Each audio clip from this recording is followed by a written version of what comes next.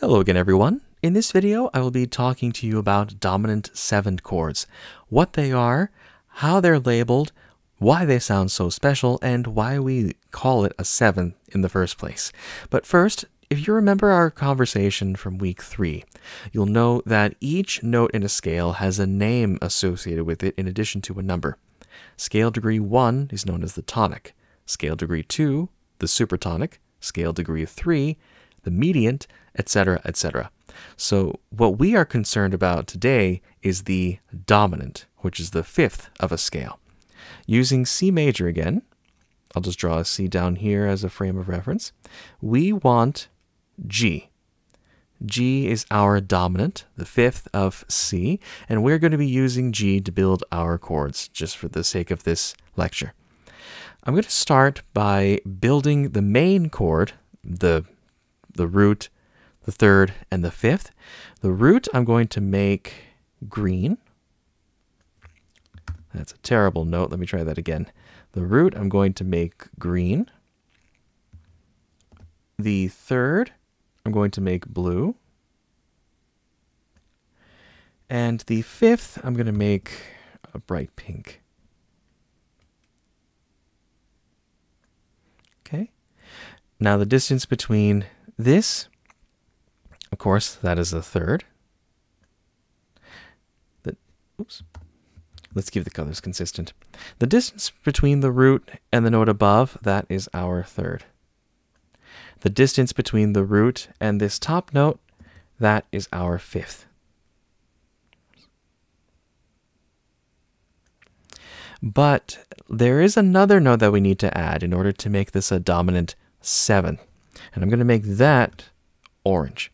So what you do to add the seventh is just go a third above your fifth. And you add it like that.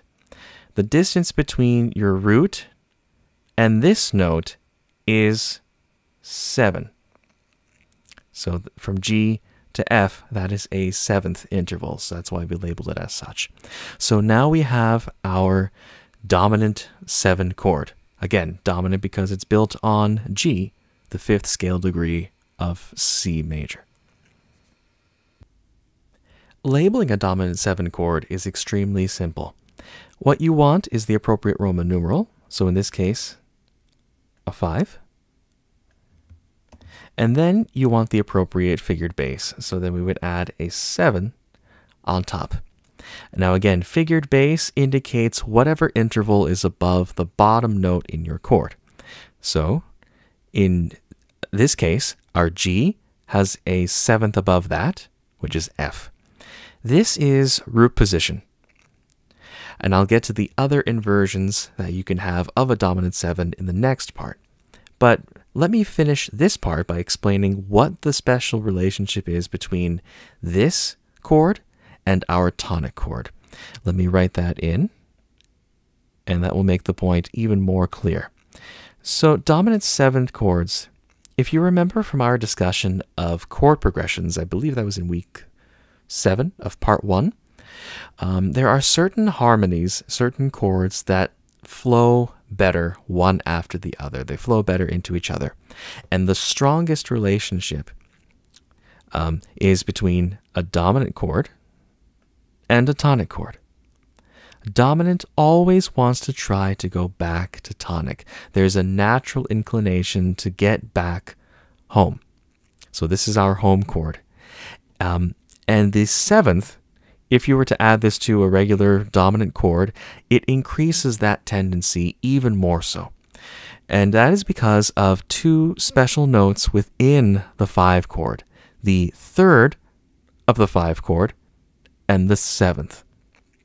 The third, in this case, again, we're using G. This is B. The third of a G dominant 7 is B. Now in C major, B is our leading tone, scale degree 7. 7 wants to go back to 1. And so this uh, third of the dominant 7 will try to go back to the root of the 1 chord. It's going to resolve upwards to the C. The seventh of our dominant seventh chord, it's a similar deal. The seventh of this wants to resolve to the third of the tonic. So there are two notes that have a tendency to go back to the tonic.